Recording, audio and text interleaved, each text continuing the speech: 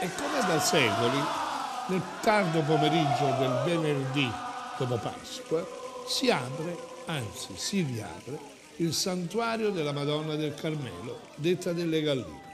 al canto di centinaia di tammorrari e migliaia di persone pervenute da ogni dove per assistere ad un momento di grande fede e spettacolarità.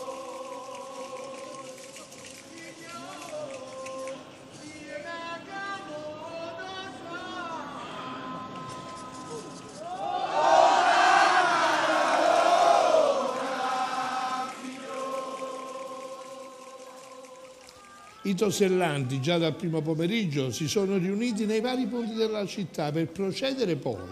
verso le ore 17, verso il santuario all'interno del quale i confratelli mettevano a puntino le ultime cose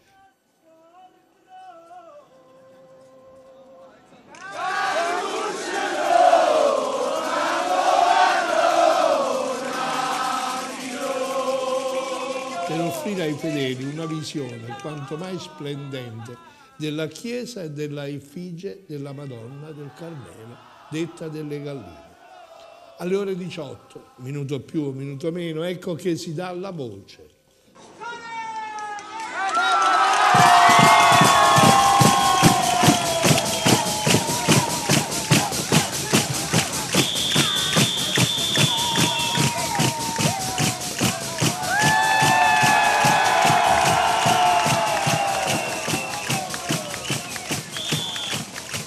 Cioè il responsabile del primo tosello lancia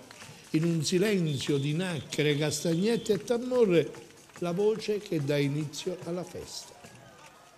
La voce diventa canto, canto devozionale di un popolo intero che si è portato ai piedi della Vergine. Il portale lentamente, dopo i rintocchi, si apre, i colombi volano nel cielo e la musica ed i canti diventano preghiere, allorché poi si è davanti alla Vergine, dove dopo un momento di preghiera, di riflessione, si dà il via alla festa che è la festa del popolo,